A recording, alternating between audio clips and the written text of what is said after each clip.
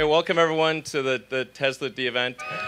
so we've been able to accelerate autopilot and, and bring, it, bring it to market faster than uh, originally anticipated.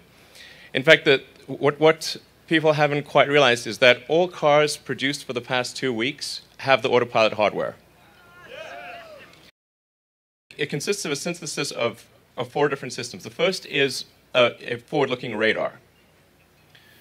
So that, that's scanning the cars in front of you, and it's, it's, it's quite long range. So it's able to see things at, at a long distance. It's also able to see through fog, through snow, through sand, through anything, basically. The next element is a camera with uh, image recognition. So it, it's able to read stop signs, distinguish uh, pedestrians, uh, uh look at traffic lights, and, and also serve as a backup system to the radar.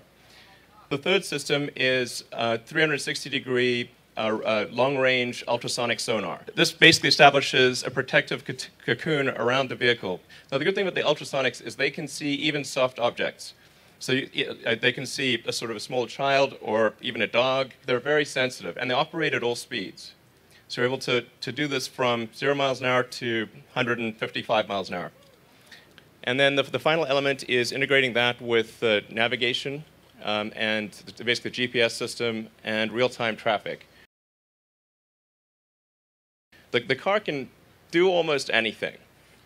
Um, so we're able to uh, obviously do lane keeping on freeways, do um, automatic cruise control, uh, active emergency uh, braking, so that uh, it'll brake if it sees any object that you're going to collide with, um, and um, it'll do it'll, it'll self park so you'll be automatic parallel parking, automatically going to a garage. When you, you get home, you'll actually be able to, to just step out of the car and have it park itself in your garage, including it, it'll, it'll open the door and it'll go in and park itself.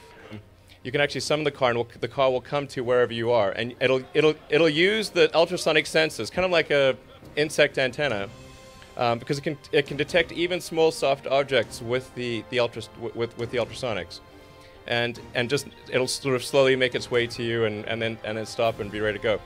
It can actually go even a step beyond that, which is if you have if you have your calendar turned on, uh, it'll it'll meet you there. Okay.